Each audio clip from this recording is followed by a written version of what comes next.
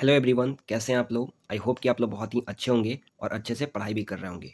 तो आज हम देखने वाले हैं क्लास ट्वेल्व इंग्लिश में पोएट्री का चैप्टर नंबर सिक्स जिसका नाम है द सोल्जर का ऑब्जेक्टिव क्वेश्चन तो चलिए शुरू करते हैं। क्वेश्चन नंबर वन में है कि the line in hearts at peace under an English heaven is taken from dash यानी यह जो लाइन है, जहाँ पे कभी कहना चाहते हैं कि इस इंग्लिश हैवन में, यानी इंग्लैंड के हैवन में, दिल को बहुत ही शांति मिलती है, सुकून मिलता है। और यह जो लाइन है, वह किस कविता से ली गई है?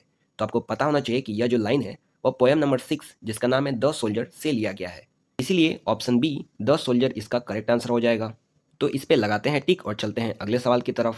क्वेश्चन नंबर टू में है कि रूपर्ट ब्रूक प्रेजेज टेस यानी इस कविता के जो कवि हैं, जिनका नाम है रूपर्ट ब्रूक वह किस देश की प्रशंसा करते हैं?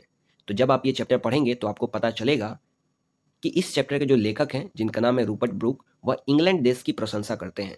इसीलिए ऑप्शन ए इंग्लैंड इसका करेक्ट आंसर हो जाएगा। तो इस पर लगाते हैं टिक और चलते हैं अगले सवाल की तरफ़। क्वेश्चन नंबर थ्री में है कि द सोल्जर इज़ डैश यानी यह जो कविता है, जिसका नाम है द सोल्जर वह क्या है? तो आपको पता होना चाहिए कि यह जो कविता है, जिसका नाम है द सोल्जर वह एक सोनेट है। अब सोनेट का मतलब होता है एक ऐसा कविता जो कि फोर्टीन लाइन्स का होता है, यानी जिसमें चौदह लाइन्स होती हैं, उन्हीं को हम लोग सोनेट कहते हैं। इसीलिए ऑप्शन बी अ सोनेट इसका करेक्ट आंसर हो जाएगा। तो इस पर लगाते हैं टिक और चलते हैं अगले सवाल की तरफ़। क्वेश्चन नंबर फोर में है कि the soldier is dash poem. यानी यह जो कविता है, जिसका नाम है द सोल्जर, वह किस तरीके की कविता है? तो जब आप ये चैप्टर पढ़ेंगे तो आपको पता चलेगा कि द सोल्जर एक पैट्रियोटिक पोएम है। यानी इस कविता में देशभक्ति के बारे में बताया गया है, इसीलिए यह एक पैट्रियोटिक पोएम है। तो हम कह सकते हैं कि इसका करेक्ट आंसर हो जाएगा option number C, a patriotic. तो इस पर लगाते हैं टिक और चलते हैं अगले सवाल की तरफ़। क्वेश्चन नंबर फाइव में है कि the soldier deals with dash. यानी यह जो कविता है, जिसका नाम है द सोल्जर, इसमें किस देश की चर्चा की गई है? तो जब आप इस चैप्टर को पढ़ेंगे तो आपको पता चलेगा कि इस चैप्टर में इंग्लैंड नामक देश की चर्चा की गई है। इसलिए ऑप्शन डी इंग्लैंड इसका करेक्ट आंसर हो जाएगा।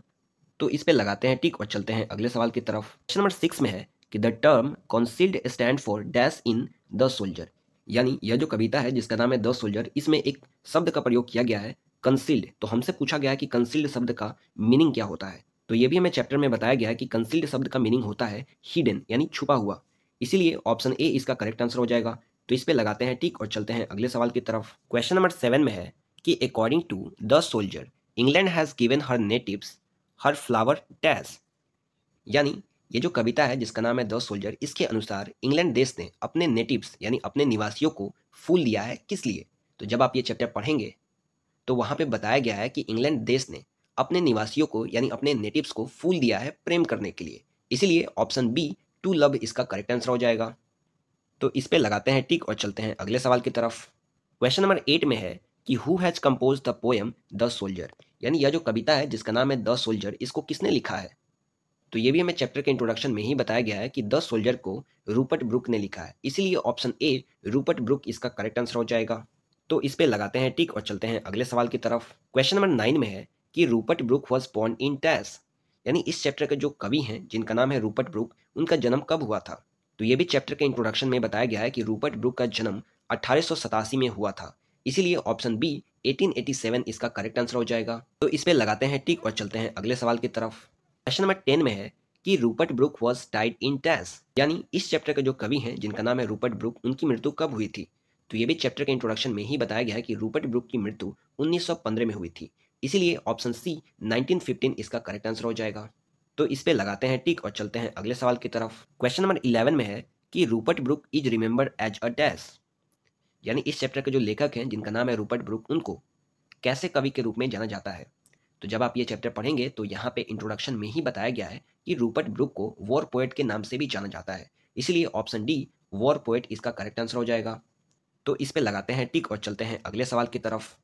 क्वेश्चन नंबर ट्वेल्व में है कि Brooke inspired patriotism in the dash phase of first world war.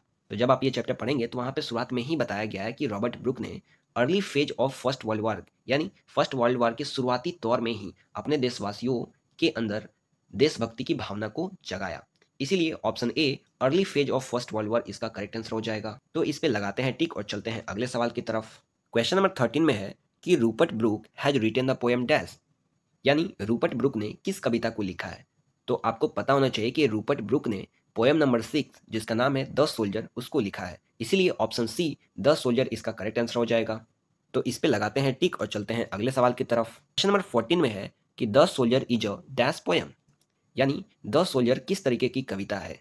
तो आपको पता होना चाहिए कि द सोल्जर एक वॉर पोएम है, यानी यह एक ऐसी कविता है जिसमें मेनली वॉर के बारे में, यानी युद्ध के बारे में बताया गया है। इसीलिए ऑप्शन बी वॉर इसका करेक्ट आंसर हो जाएगा। तो इस पर लगाते हैं टिक और चलते हैं अगले सवाल की तरफ़। क्वेश्चन नंबर फिफ्टीन में है कि the images and phrases of dash run through both the stanzas यानी इस कविता में जो दो स्टैंडा दी गई हैं, उनमें किस देश के चित्र को वर्णन किया गया है और उनकी प्रशंसा की गई है?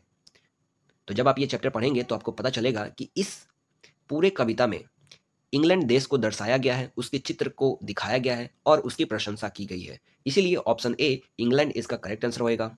तो इस पर लगाते हैं टिक और चलते हैं अगले सवाल की तरफ़। नंबर सिक्सटीन में है कि the place where the soldier would be buried should be treated as the part of dash after his death यानी जब सैनिक शहीद हो जाएँगे और जिस जगह पे उनको दफनाया जाएगा तो उस जगह को किसका हिस्सा माना जाएगा? तो ये भी हमें चैप्टर में बताया गया है कि कवि कहते हैं कि जब कोई सैनिक शहीद हो जाएँगे और उन्हें जिस जगह पे दफनाया जाएगा तो वह ज़मीन का टुकड़ा सदा के लिए इंग्लैंड का हो जाएगा। इसीलिए ऑप्शन डी, इंग्लैंड इसका करेक्ट आंसर हो जाएगा। इस पे लगाते हैं टिक और चलते हैं अगले सवाल की तरफ़। क्वेश्चन नंबर सेवेंटीन में है कि the speaker of the poem the soldier is a dash यानी यह जो कविता है, जिसका नाम है द सोल्जर यहाँ पे जो वक्ता है, यानी स्पीकर है, वह खुद क्या है? तो ये भी आपको पता होना चाहिए कि द सोल्जर चैप्टर में जो स्पीकर है, यानी वक्ता है, वह खुद एक सोल्जर है। यानी सैनिक है। इसीलिए ऑप्शन बी सोल्जर इसका करेक्ट आंसर हो जाएगा। तो इस पे लगाते हैं टिक और चलते हैं अगले सवाल की तरफ़। क्वेश्चन नंबर 18 में है कि the poem dash is a patriotic poem यानी यहाँ पे दी गई कविताओं में से कौन ऐसी कविता है जो कि एक पैट्रियोटिक पोएम है? यानी देशभक्ति से जुड़ी हुई कविता है। तो आपको पता होना चाहिए कि पोएम नंबर सिक्स जिसका नाम है द सोल्जर वह एक पैट्रियोटिक पोएम है। यानी देशभक्ति से जुड़ी हुई कविता है। इसीलिए ऑप्शन सी द सोल्जर इसका करेक्ट आंसर हो जाएगा। तो इस पे लगाते हैं टिक और चलते हैं अगले सवाल की तरफ़। क्वेश्चन नंबर नाइनटीन में है कि Rupert Brooke speak in the guise of an dash soldier यानी इस कविता के जो कवि हैं, जिनका नाम है रूपर्ट ब्रूक वह इस कविता में किस देश के सैनिक के रूप में बोलते हैं? जब आप ये चैप्टर पढ़ेंगे तो वहाँ पे बताया गया है कि रूपर्ट ब्रूक इंग्लैंड के सैनिक के रूप में बोलते हैं। इसीलिए इसका करेक्ट आंसर हो जाएगा option number A English soldier अब जैसे कि भारत देश के जो निवासी होते हैं, उनको हम लोग इंडियन कहते हैं। फ्रांस के जो निवासी होते हैं, उनको हम लोग फ्रेंच कहते हैं। उसी प्रकार से जो इंग्लैंड के निवासी होते हैं, उनको हम लोग इंग्लिश कहते हैं। इसीलिए ऑप्शन ए इंग्लिश सोल्जर इसका करेक्ट आंसर हो जाएगा। तो इस पर लगाते हैं टिक और चलते हैं अगले सवाल की तरफ़। क्वेश्चन नंबर ट्वेंटी में है कि the poem dash is a sonnet यानी यहाँ पे दी गई कविताओं में से कौन ऐसी कविता है जो कि एक सोनेट है? तो सबसे पहले आपको ये पता होना चाहिए कि सोनेट एक ऐसी कविता होती है जिसको 14 लाइंस में यानी 14 लाइन में लिखा होता है। और ये भी आपको पता होना चाहिए कि पोएम नंबर सिक्स जिसका नाम है द सोल्जर वह फोर्टीन लाइन्स में लिखी हुई है। इसलिए वह भी एक सोनेट है।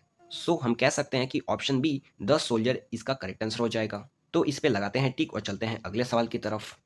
क्वेश्चन नंबर ट्वेंटी वन में है कि a dust whom dash bore shaped made aware dash dash dash तो आपको पता होना चाहिए कि यह जो लाइन है, वह पोएम नंबर सिक्स यानी द सोल्जर से लिया गया है, जहाँ पे कभी अपने आप को एक धूल का कर्ण बताते हैं और कहते हैं कि एक ऐसा कर्ण जिसको इंग्लैंड ने बोर किया है, यानी जन्म दिया है, शेप किया है और इसको जानकार बनाया है। इसलिए हम कह सकते हैं कि इसका करेक्ट आंसर हो जाएगा ऑप्शन नंबर सी इंग्लैंड तो इस पर लगाते हैं टिक और चलते हैं अगले सवाल की तरफ़। क्वेश्चन नंबर ट्वेंटी टू में है कि my tongue every dash of my blood formed from this soil this air तो सबसे पहले हम आपको बता दें कि यह जो क्वेश्चन है, वह इस चैप्टर का है ही नहीं। और अगर आपको पता है कि यह क्वेश्चन किस चैप्टर का है तो आप हमें कमेंट में ज़रूर बताइएगा। चलिए इस सवाल को बनाते हैं।